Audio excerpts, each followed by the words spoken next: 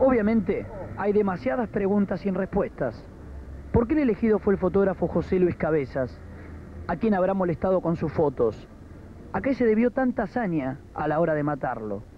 Cuesta entenderlo y mucho si se piensa en un simple móvil de robo. Todo cierra mucho más a la hora de pensar en un asesinato fríamente calculado.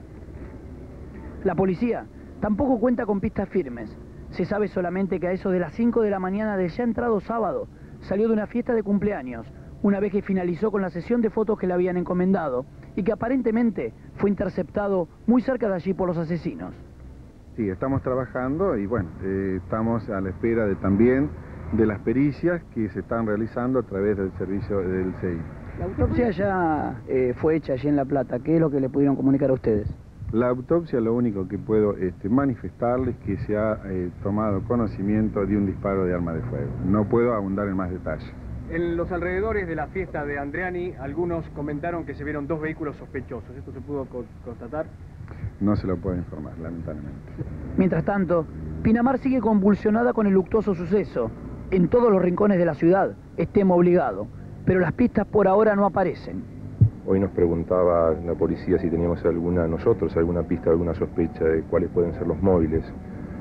Y en el historial de José Luis Cabeza y en el historial de las notas que hizo, de las fotografías que logró, puede haber muchas pistas, pero está en ellos este, ver cuál es la que puede llegar a, alguna respuesta a este caso.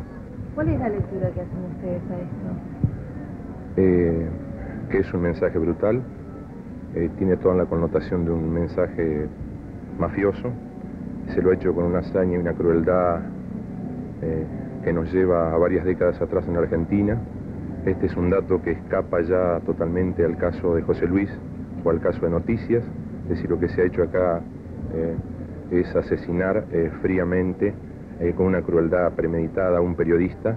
yo hablé con el juez en la madrugada, el juez Maki, que es el juez del, del juzgado número 3 de Dolores, y nos ha dicho que en realidad no tiene ninguna pista en firme. Nosotros no queremos elaborar ninguna hipótesis, ninguna teoría. Desde La Plata, la información da cuenta que una pistola calibre 22 fue la que impactó en su sien derecha, que las esposas con que lo sujetaron son de origen francés y se compran en cualquier negocio del ramo.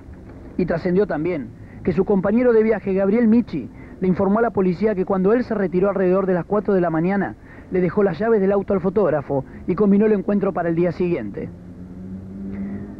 Michi hubiese corrido la misma suerte si se hubiera ido junto con cabezas de la fiesta.